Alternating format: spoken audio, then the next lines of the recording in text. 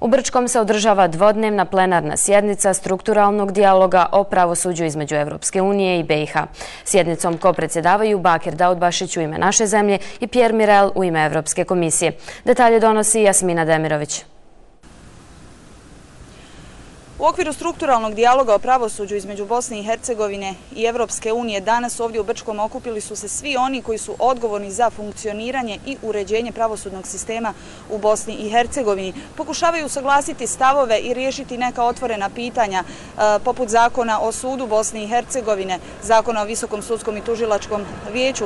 Tu su i pitanja o nadležnostima suda Bosne i Hercegovine kao i o prenosu predmeta ratnih zločina na entitetske nivoe. No nisu ovdje u Brčkom Grčkom danas bila suprotstavljena samo stručna mišljenja, već i ona politička, a njih je čini se puno teže usaglasiti. Do nekih dogovora se ipak i došlo, ali pojavili su se i novi problemi. Pogledajmo prilog.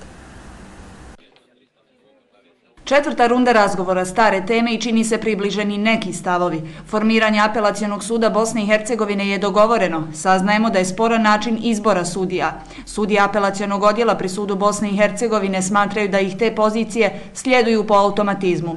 To bi međutim bilo suprotno važećim zakonima jer nisu izabrani od strane VSTV-a već predsjednice suda. Najviše polemike danas je ipak izazvala rasprava o krivičnoj nadležnosti suda Bosne i Hercegovine. Da li se ona smanjuje, povećava ili precizira? Precizira. Postoji mišljenje, a tu to mišljenje dijeli i Evropska komisija, da treba što je moguće više objektivizirati parametre kako ne bi dolazilo do eventualnih nesporozuma ili eventualne zlouporabe tog članka, tako da se što jasnije e, definira zaista šta je nadležnost suda BiH.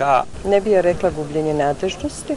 Prije svega moramo znati da nadležnost svakog suda utvrđuje se zakonom, Dogovoren je prijenos predmeta ratnih zločina na entitetske nivoje. Fokus je bio na finansiranju sudova koji će ih preuzeti.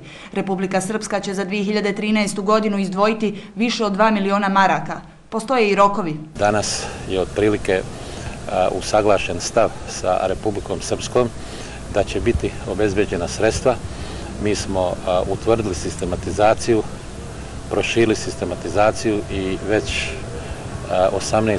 ovog mjeseca ćemo raspisati konkurs za poponu 11 tužilačkih mjesta u Republici Srpskoj. Kada je u pitanju državna strategija, to su rokovi zacrtani od 7 godina, da bi znači u narednom periodu od sedam godina ti predmeti trebali da budu završeni. Imenovanje tužilaca, uloga i funkcija Visokog suskog i tužilačkog vijeća, teme su o kojima se još ranije vodila žestoka stručna, ali i politička rasprava. Učesnici detalje o ovome nisu htjeli iznositi. Preporuke ćemo vezano za tu temu, vrlo jasne preporuke dobiti sutra nakon eh, ovaj završetka četvrte plenarne sjednice. Retroaktivna primjena krivičnog zakona Bosne i Hercegovine još jedna je od tema o kojoj ne postoji dogovor. Naći će se vjerovatno na nekom od narednih sastanaka.